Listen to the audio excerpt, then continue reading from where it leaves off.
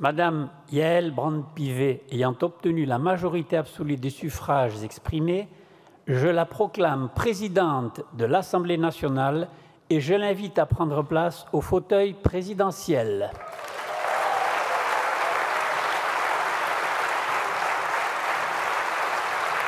Mes chers collègues,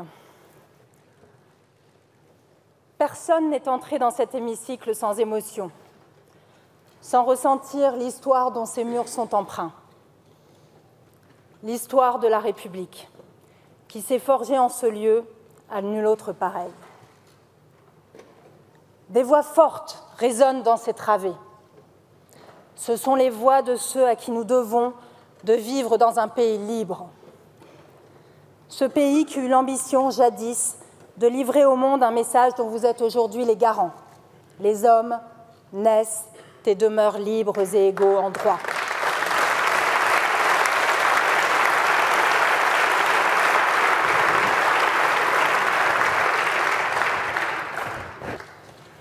En me portant à votre présidence, vous donnez aujourd'hui à ce message une portée nouvelle. Je veux donc vous remercier toutes et tous, élus au suffrage universel, direct, qui accomplissaient ce geste fort. Plus nécessaire que jamais, sans doute, tant l'époque que nous vivons est lourde d'incertitudes et de questionnements. Permettez-moi pour commencer d'avoir une pensée pour les autres candidats qui souhaitaient eux aussi occuper cette fonction. Je salue en particulier Annie Genevard, qui fut une excellente vice-présidente de l'Assemblée nationale pendant le dernier mandat.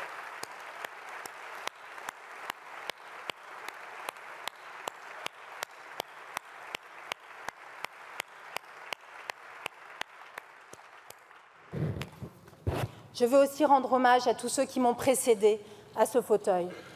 J'ai évidemment une pensée particulière pour Richard Ferrand. Cher Richard,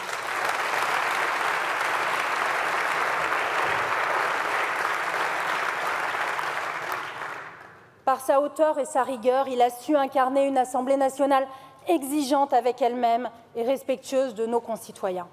Je pense aussi à Jean-Louis Debré, évoquant d'emblée, il y a 20 ans, la personne du général de Gaulle, qui représentait tant pour lui et sa famille. Je pense également, plus près de nous, à Claude Bartolone, saisi par l'émotion lorsqu'il évoqua l'autre rive de la Méditerranée et l'odeur des orangers.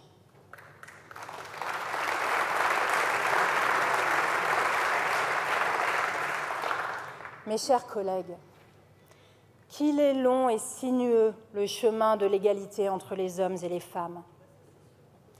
Je voudrais vous lire ces quelques lignes publiées le 12 avril 1849 dans les colonnes du quotidien Le Peuple.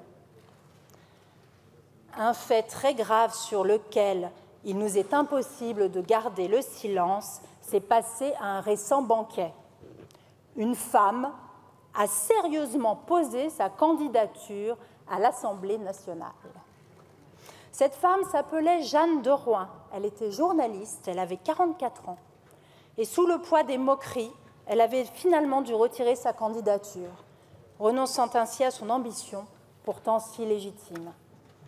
Il aura fallu attendre près d'un siècle pour qu'enfin, le 21 octobre 1945, 33 femmes entrent pour la toute première fois dans cet hémicycle et encore 20 ans pour qu'elles accèdent à une présidence de commission, puis 20 ans à nouveau pour qu'une place leur soit faite à la questure, et presque autant avant que ne soit créée la délégation aux droits des femmes et à l'égalité des chances. Ce chemin fut tracé par des personnalités remarquables. Elles sont l'honneur de la France. Et il est bien injuste aujourd'hui que je ne puisse toutes les citer. Mais je veux quand même évoquer avec vous Catherine Tasca, elle qui fut en 1997, bien avant moi, la première femme à présider la commission des lois, une présidente euh, yvelinoise, qui porta surtout la loi constitutionnelle relative à l'égalité entre les femmes et les hommes. Je veux également penser en cet instant à notre chère Marielle de Sarnez, grande figure de notre Assemblée disparue trop tôt et nous laissant tous désemparés. Enfin, bien sûr, comment ne pas évoquer Simone Veil, pour qui les portes du Panthéon se sont ouvertes et à qui nous devons tant. Le 26 novembre 1974, alors ministre, elle venait, et je la cite, devant cette assemblée presque exclusivement composée d'hommes, mettre fin à une situation de désordre et d'injustice. Elle permettait alors d'inscrire dans la loi le droit à l'avortement. La décision brutale rendue vendredi dernier par la Cour suprême des États-Unis d'Amérique, à rebours de son engagement qui nous a tant choqués, nous rappelle à la vigilance. Rien n'est jamais acquis. L'histoire est faite de grandes avancées, mais elle est toujours menacée de s'écrire à rebours. Ce droit a été conquis, il est inaliénable. Ma conviction de femme aujourd'hui, au regard des circonstances, est que nous devrons veiller collectivement à ce qu'il le reste à jamais.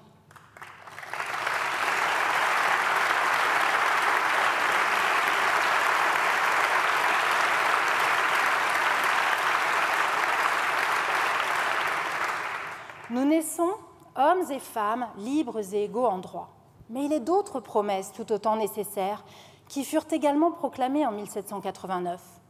Nous devons, au-delà de notre naissance, pouvoir grandir dans la liberté, l'égalité et la fraternité. Au cours de notre vie, les distinctions sociales ne peuvent être fondées que sur l'utilité commune.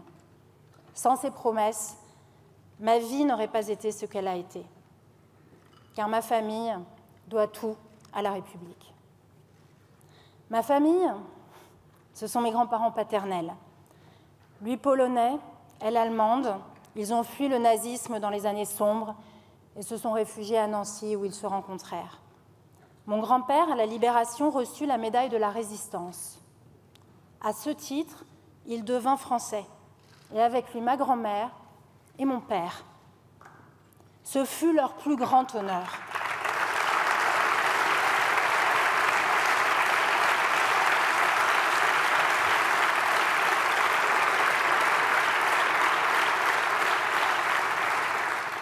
À leurs enfants, à leurs petits-enfants dont je suis, ils ont transmis leur amour viscéral de la France, ce pays qui les avait accueillis, protégés et pour lequel ils s'étaient battus.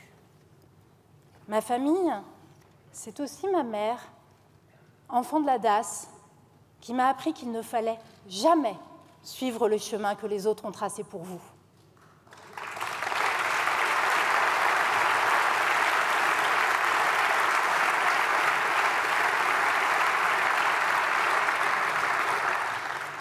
Mon histoire, c'est celle d'une jeune fille qui fut la première parmi les siens à accomplir des études supérieures, qui, devenue avocate, l'étiquette de son grand-père tailleur, cousue dans la doublure de sa robe noire, a pu prendre son destin en main. Parce que c'est ce que notre République permet à chacun de ses enfants. Parce que c'est ce que notre République doit à chacun de ses enfants.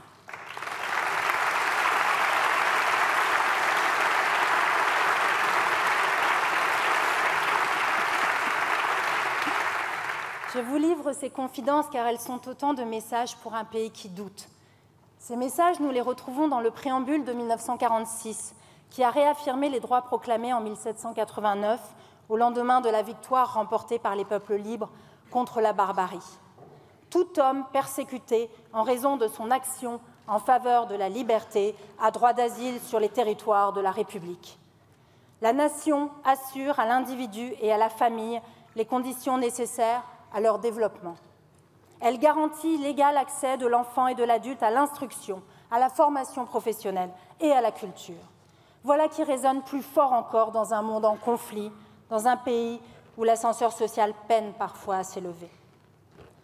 L'enfant, la famille, permettez-moi à ce moment de mon, propos de remercier et saluer mon mari, mes cinq enfants qui sont là et je vois ma fille qui pleure.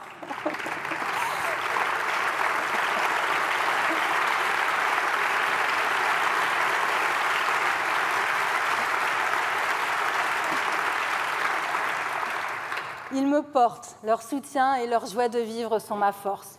Sans eux, sans chacun de mes proches, je ne serais pas moi et je ne serais pas là. Bien sûr, j'en ai conscience, j'accède à cette fonction dans un moment particulier de notre vie politique. La configuration de notre Assemblée est inédite. Les Français nous enjoignent de travailler ensemble, de débattre plutôt que de nous battre. Ils nous ont choisis, ils nous ont élus et nous partageons, quelles que soient nos différences, une responsabilité, celle de répondre à l'espoir que cette Assemblée, qui a le visage de la France, a fait naître chez nos concitoyens.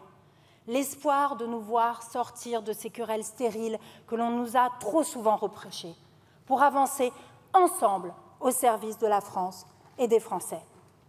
Notre Assemblée.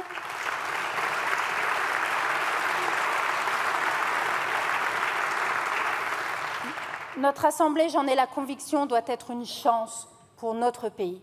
Elle le sera, je n'en doute pas, si nous choisissons la voie du dialogue. J'en serai la garante exigeante. Ce dialogue sera la fondation sur laquelle nous pourrons bâtir du consensus, des compromis. Cette voie est possible. Les commissaires aux lois peuvent en témoigner. Nous l'avons déjà emprunté. Les travaux transpartisans, l'échange, la collégialité ont été notre marque de fabrique. Cette vision, je ne la fais pas mienne par nécessité, mais par conviction. Je l'ai portée dans mon plaidoyer pour un Parlement renforcé. Mes chers collègues, je vous parlais un peu plus tôt de dialogue entre nous. Ce dialogue, notre institution devra l'avoir aussi avec les Français. C'est une évidence. Faire de la politique, c'est aimer les gens, chercher à leur être utile et à transformer leur vie. Notre Assemblée devra sortir de ses murs et aller à la rencontre de tous nos concitoyens sur tous nos territoires. Je pense à cet instant en particulier à nos territoires d'outre-mer que j'aime profondément. Chaque année, la présidente de la commission de des lois que j'étais s'est rendue dans l'un d'eux. Chaque année, la présidente de l'Assemblée nationale que je suis continuera à le faire. Nos Outre-mer sont aussi présents dans le préambule de 1946. La France forme avec eux une union fondée sur l'égalité. Mon engagement pour eux ne faiblira jamais, car disons-le, avec eux, grâce à leur histoire, à leur diversité, à leur éloignement aussi, notre pays incarne davantage son rêve d'universalité.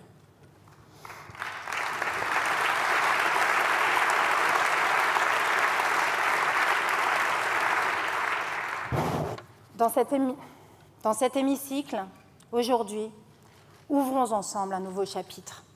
Vous pourrez compter sur moi. Le temps presse, il nous oblige. Pour tous les Français, où qu'ils soient, d'où qu'ils viennent, quelles que soient leurs attentes et leurs besoins, agissons pour rendre plus beau ce bien immense que nous avons en commun, la République.